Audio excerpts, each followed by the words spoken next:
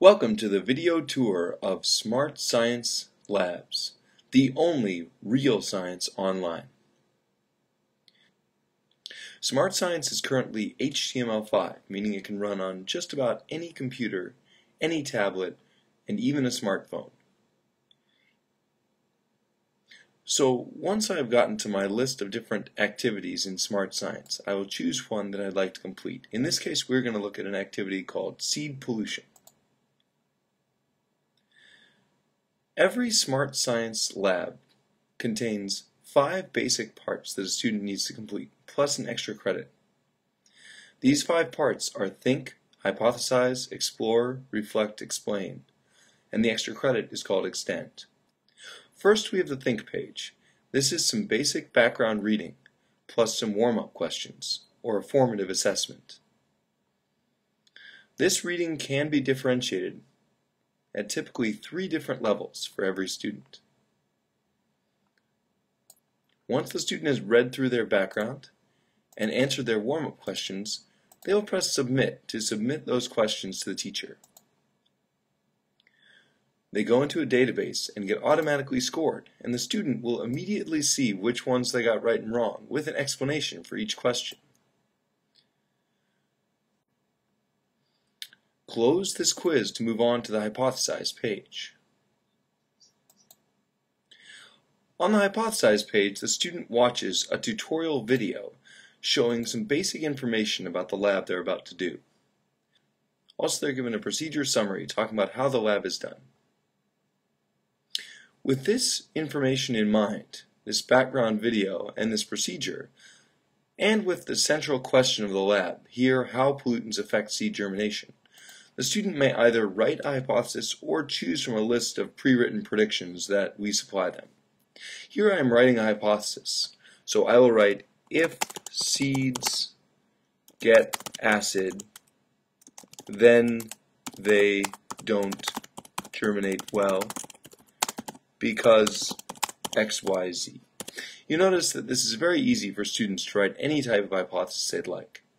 Once it is written, I will press the Enter key on the keyboard, and I can add new hypothesis to my list.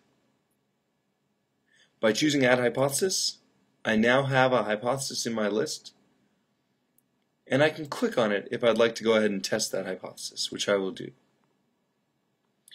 Now I press the Enter button to get started with the lab.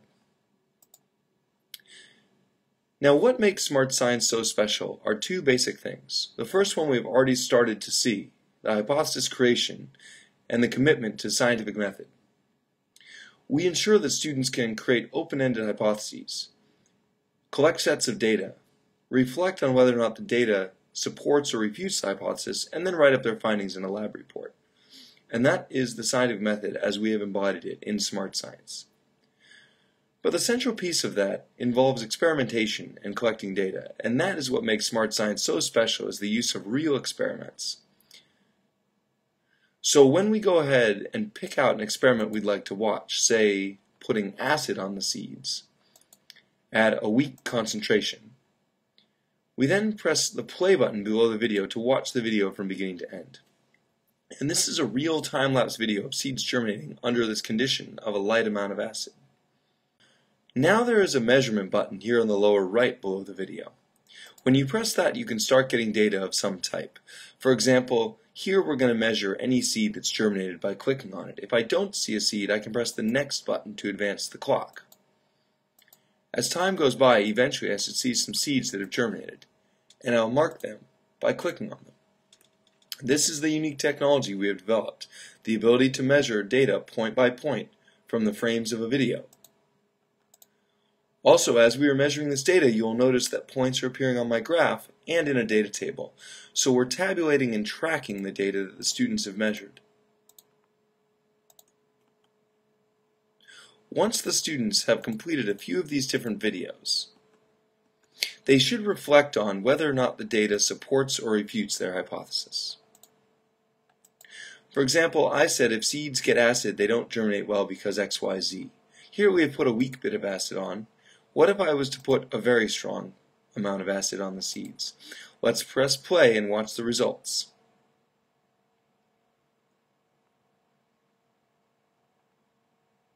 It seems that none of the seeds have germinated, and when I press the measure button and advance through the frames of the video, I will not have any seeds to click on because none of them have germinated. Of course, you could go and click on seeds as we don't limit the restrictiveness of how to collect data. But if I'm following the directions, I notice that I'm not supposed to click on any because none have germinated. Now you notice before I move on, there are some supporting pieces here. We have a help page to help with how to navigate labs. We have a details page, so some background on the science behind this lab. We have a scientist page showing a relevant scientist who worked in this historical area of science comparable to what this lab is about. We also include some SI units, a dictionary, and an interactive vocabulary. So if I click on the vocabulary list, I can go ahead and look up any of these words, such as say kilosecond, meaning 1000 seconds. And now there's a light green quiz button, so I can take my post-lab quiz, my summative assessment. You notice these questions typically deal with vocabulary, graphing, and the theme of the lab. Once the student has answered these questions, just like the warm-up, they're going to go ahead and submit their answers. It's going to be submitted into the database. And they're going to get a score back if they passed the quiz. This is set by the teacher, so you can actually allow your students to retake quizzes that they don't pass. Here I have failed, so I am allowed to retake the quiz, but I haven't seen my results yet. Furthermore, I can write a lab report. This is the critical part at the end of each lab where the student can reflect on what they've learned. So by using the different graphs and charts and looking at the data that they've collected, we'd like them to write a brief introduction, a procedure, a results section, and finally a conclusion. Also, they see their quiz grades, and at any time while they're writing, they can save their work with a save button. Once it's been saved, it can be archived as a PDF file, or submitted into the teacher page. If they do choose to archive the PDF, they can print this out easily for use in a portfolio for the student. Once again, everything is saved in the cloud, so the teacher can access any of the student's work at any time. Thank you for watching this brief tour of a Smart Science Lab about seed germination with pollutants. Please contact us anytime to get more information about smart science and what we're doing to improve science education.